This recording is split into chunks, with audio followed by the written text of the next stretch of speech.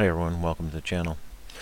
Uh, going over the uh, mission that I built here for Vietnam scenario. Uh, I've added a mission briefing uh, to give you all the information that you need to know as far as playing the actual mission. So we're going to go ahead and jump in here. We'll jump over to the battlefield here just a moment. There you go. Kind of an overview. Now again the labels are on.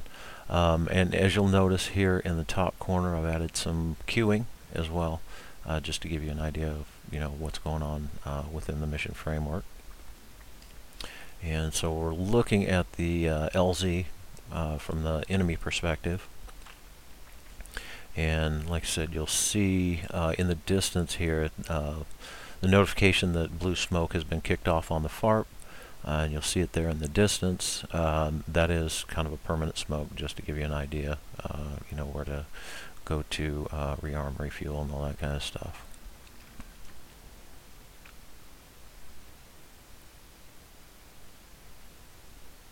And just a gander around the battlefield again here real quick.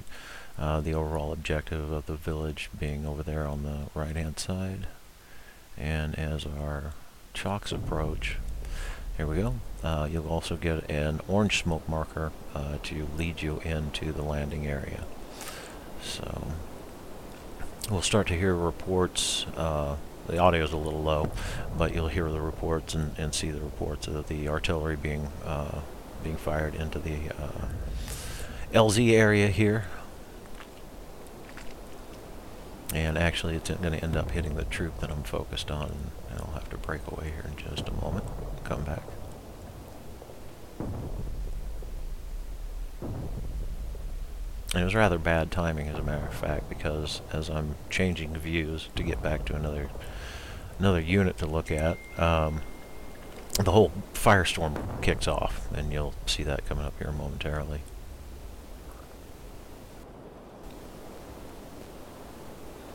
As well, there was a significant rework um, of my F4s uh, as well as the uh, Cobras uh, doing CAS. I found out that I was uh,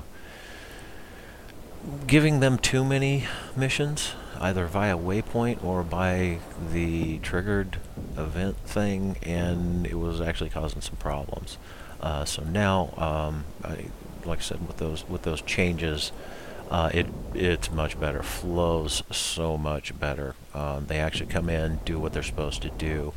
Um, and that was really obviously what I was looking for. So again, so we're going to get back into the uh, battlefield here, and again, by the time we do, uh, the chalks are making their way in and getting settled toward the ground. And so we'll focus back in here on, on little dude here. And as you can see, the shitstorm has kicked off. So the choppers are on the ground, they're starting to offload their infantry, and the firefight breaks out. Uh, so this is kind of the the idea that I had initially.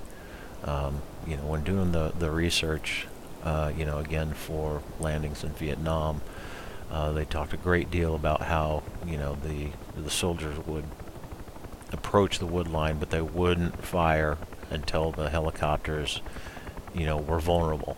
Uh, so here we go. They've approached the wood line, and this is all based off just waypoint timings. I just, you know, kept doing this, kept doing this until I got the timings right. Uh, I didn't set up the specific time to be at any uh, certain waypoint. Uh, I had a lot of trouble, a lot of trouble with the timings. I'm gonna have to do some more research as far as how to get the, you know, time on target or, or whatever they call it in, in DCS to actually, uh, you know, make things make things happen that way. But as we can see, like I said, we've got a big old firefight going on on the LZ uh, End. Uh, for any of you who are Manchester fans, you'll understand why I picked that name.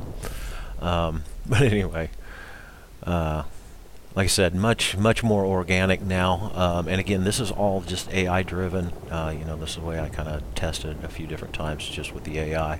Let it do its thing, play its its its uh, way out uh, you know, with, without the player or me in this case, you know, having any having any effect on the battle itself. So looks good, and you'll be responsible, obviously, for flying in there and flying through some of this mayhem. Um, I did have one person test it. Um, he did notice that there was a little uh, lag spike uh, with the last one, and uh, you know, I, I don't know. I didn't get his machine specs. I'll, I'll probably have to ask again if he if he gets to play this again. You know, just what kind of uh, machine he's running, so I can make sure that I'm not overloading. And here we see the F4 Phantoms come in, uh, doing a carpet bomb strike in the Ville. Uh, I was also able to add some uh, scenery destruction and smoke uh, to have that kick off in the Ville and kind of in the background. Uh, but again, you know, once you clear the LZ um, and the troops start moving off, you can go uh, back to the FARP, rearm, uh, and then go help in the Ville as well. Um, I did move the anti-aircraft guns. They were initially a little bit closer to the LZ and were causing all kinds of problems for the uh, attack helicopters that you'll see right there. Um, as well, um, the infantry troops over in the Ville, and for whatever reason, uh, those things are almost impossible to kill. Uh, those little quad uh, quad 50s. So I've had them bombed, and they're sitting right in the bomb crater, and they're still shooting and stuff. So I'm not really sure. It might be a DCS thing. Uh, but again, uh, hope you all enjoy it. Uh, again, quick update for the Vietnam mission.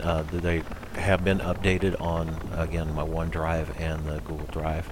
Uh, so if you want to download and play this, uh, you'll need the World War II asset packs. So everyone stay safe out there and keep your nose up and your wings level.